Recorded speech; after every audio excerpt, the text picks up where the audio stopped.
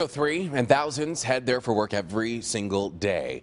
But on Tuesday, someone who doesn't work at the GM Tech Center in Warren showed up with ill intentions. And what happened next has really shaken a family to its core. Local 4's Nick Monacelli is joining us live now this morning. And Nick, this story now going to play out in a courtroom because one woman ended up being seriously injured.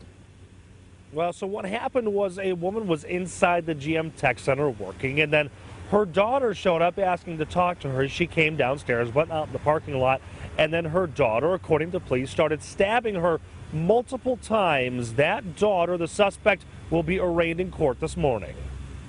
I'm thinking about my mom, making sure she's all right. Two days later, and Nathan Kerr's mother, Stephanie, is still in the hospital trying to recover after being stabbed outside the GM Tech Center in Warren.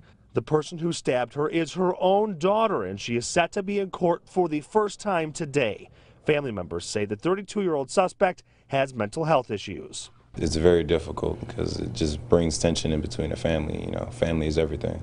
According to police, the suspect went inside the tech center, asked for her mother, and then stabbed her outside several times. She's not talking. She has a tube down her throat, and I did go see her as soon as I could, so I left school early. Despite that, the 52-year-old is expected to survive, but much of that is thanks to Paco Sarter. Lady, the victim that was on the floor, she was like, help me, I'm dying. Sarter works as a valet supervisor and pulled a gun to stop the attack.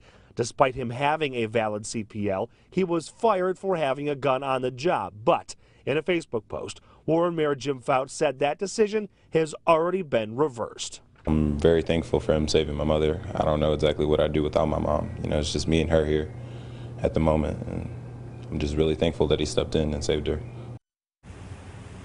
So again, the suspect, the daughter, will be in court at 9 a.m. today. This is the arraignment. The judge will take a look at the case and, and determine if bail should be set, if any. She's likely facing charges of attempted murder, and because the family is already saying that she has some kind of mental health issues, a mental competency exam will likely be ordered sometime down the road. We're live this morning. Nick Monacelli, Local 4 News today.